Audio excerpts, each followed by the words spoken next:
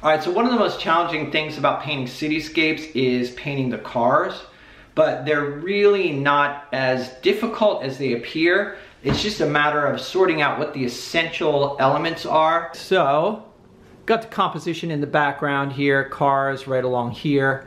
Um, so right now I'm just kind of mapping out big shapes and this right here, this big shape, kind of a wedge shape, that is the cars right there. So now I am going to continue with burnt sienna and maybe start making some divisions here uh, for individual cars. I've got a square here that I'm gonna put onto my computer screen.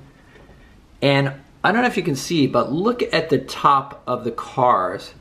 Um, in the back, um, you know, by the tree, there's a car that kind of bumps up, but most of the tops line up. They're actually uh, perfectly level. So that's often the case. Usually the tops of the cars will line up, unless of course, like in the background, you've got, um, you know, the road bumps up a little bit, but the tops tend to be level, and then the bottoms of the cars are angled.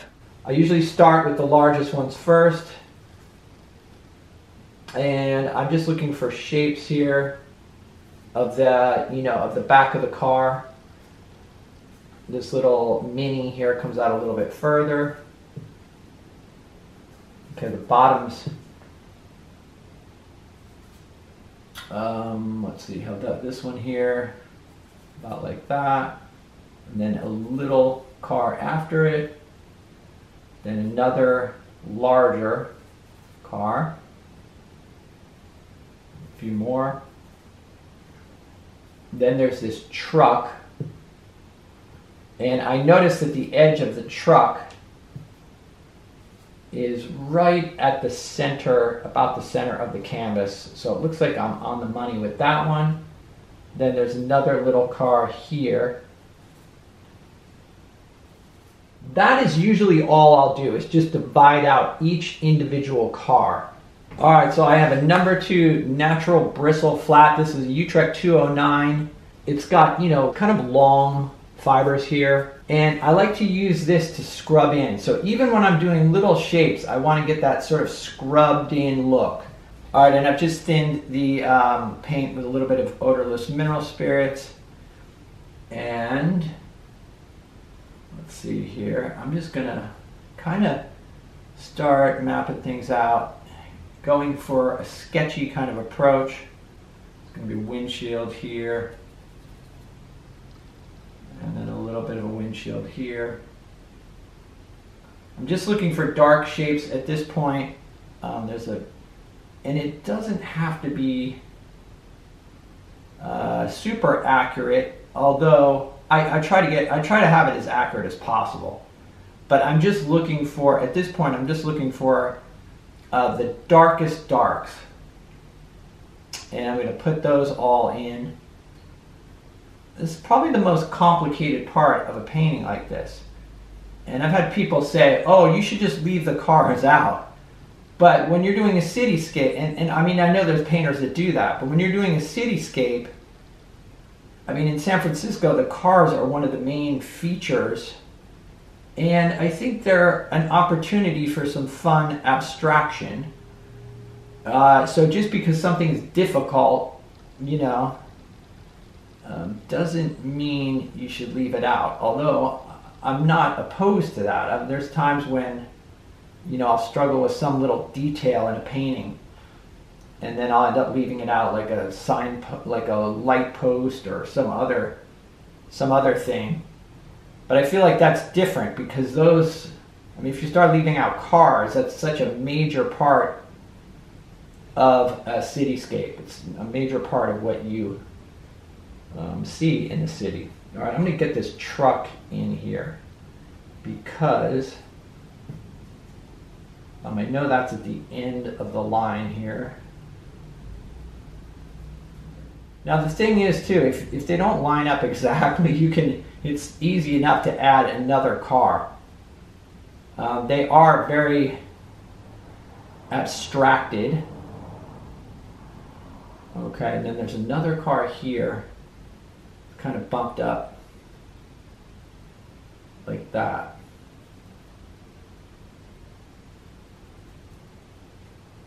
And then obviously there's the tree around it.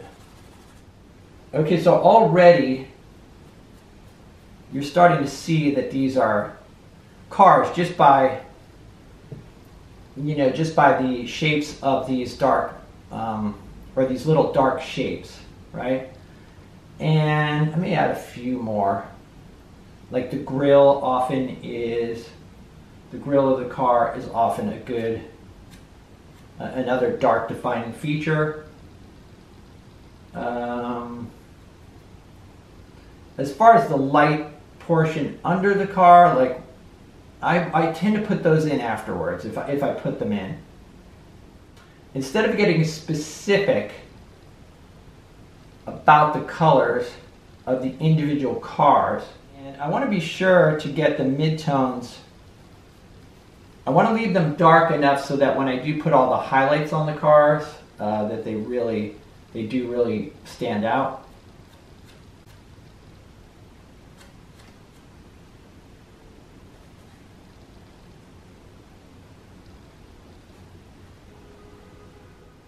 And I can come in and add some touches of color to these cars if I want to.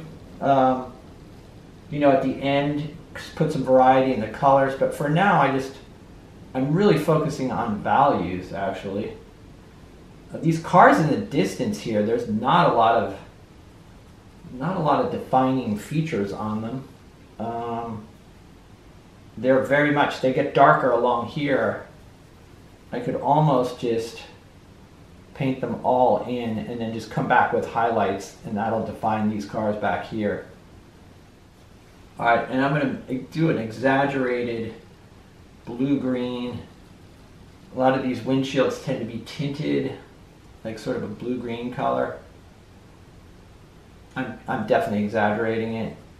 This one here for the truck will need to be lightened up.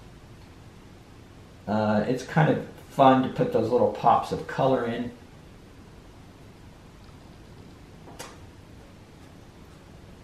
Like blue-green color. Now I'm going to come in with some lights here, but these are not my lightest lights. Uh, what I'm using here is almost like a dull gray made out of ultramarine. Um, but a lot of times what I'll do is just do like what I did with these cars here, just kind of color the whole thing in dark and just come in and put a few highlights. So in a way we've got two lessons here. One is, uh, you know, just simply putting everything in dark, and here a little bit more detail, which makes sense because these are closer up, so they're larger, so a little more detail is actually okay. It's kind of a cool thing. Okay, now I've got a, this is a number four Blick Scholastic Wonder White. Uh, it's kind of a, I don't know, this was inexpensive. I think it was like $3. And um, it's just kind of like a liner brush in a way. This has been really helpful, actually. Kind of like it, even though it's inexpensive. Now this time I've got medium. I'm using medium and I'm coming over this scrub in, kind of reinforcing darks.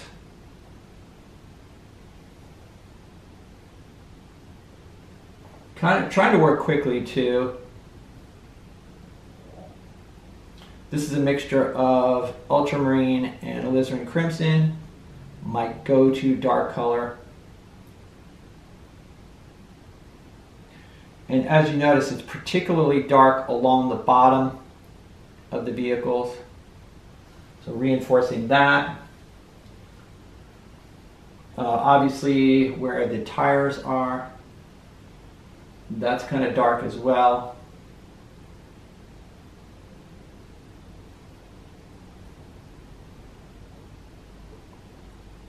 And then the tops of the windshields, at least some of them. Some kind of reflected blue on this windshield.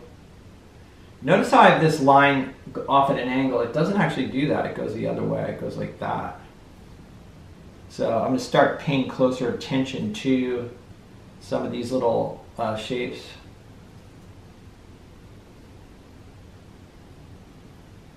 And again, more detail, putting more detail, doing a little bit more detailed work here than I usually do just for uh, illustrative purposes to show you guys what I, you know, the process. Um, and I repeat, I would do, I would actually do this level of detail on a larger painting, but something this small, probably not. Although I might, you never know, depending on the mood I'm in.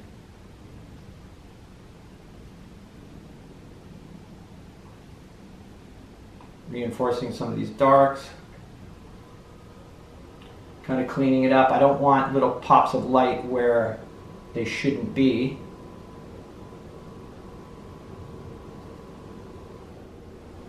Sometimes I'll make headlights, I'll change the value of the headlight to make it stand out just because headlights are one of the defining features. It's almost like a facial feature of the car.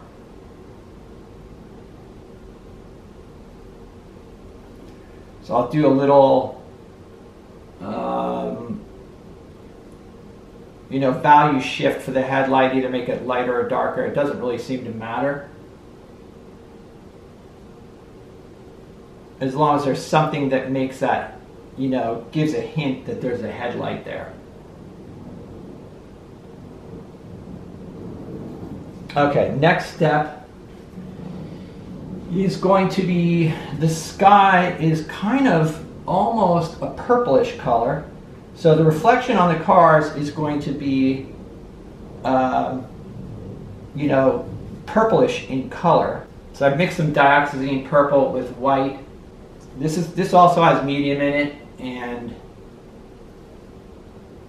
just start applying some of this thicker paint.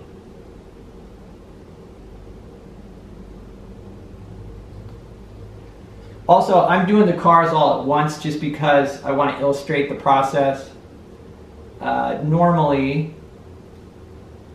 I'd kind of work, uh, I'd do all of this and I'd, you know, I'd kind of work dark to light on the whole painting, but that's going to take a while and I just wanted to show you guys this process here specifically.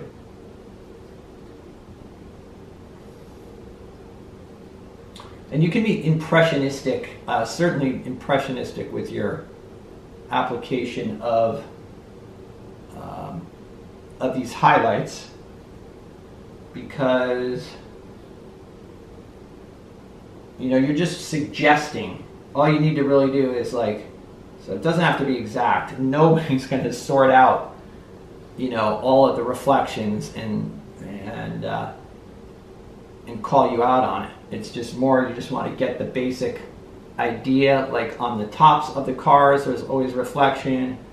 And then usually on the side of the window and then also along the, the side of the door right under the window, right above the wheel well.